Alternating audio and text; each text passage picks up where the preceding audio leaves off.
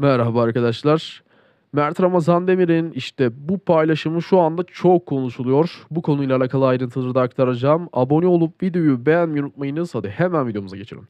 Biliyorsunuz dün akşam 53. bölümü final sahnesi vardı ve Mert Ramazan Demir Instagram'dan sevgi her zaman iyileştirmiyor. Notu ile Afra Saraçoğlu'yla onu unutamadığı sahneyi, Afra Saraçoğlu'nu unutamadığı sahneyi Mert Ramazan Demir Instagram hesabının hikayesinde, storiesinde paylaştı.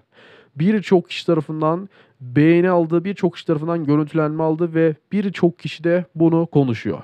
Gerçekten çok güzel bir haber. Çünkü bu ikilinin barıştığına dair Mert Ramazan Demir'in Afra Saraçoğlu'nu e, unutamadığına dair bu aslında bir işaret olabilir. E, belki de zaten Mert Ramazan Demir'in ayrılık açıklamaları vesaire bunların da açıklamasından dolayı pişman olduğu söyleniyor. Yani Mert Ramazan Demir bundan pişman diye belirtiliyor bu açıklamalardan dolayı. O yüzden e, bu tarz gönderiler atarak kendini affettirmeye çalışabilir ki tahmini olarak barışmışlar da olabilir. Şu anda barışma aşamasında da olabilirler.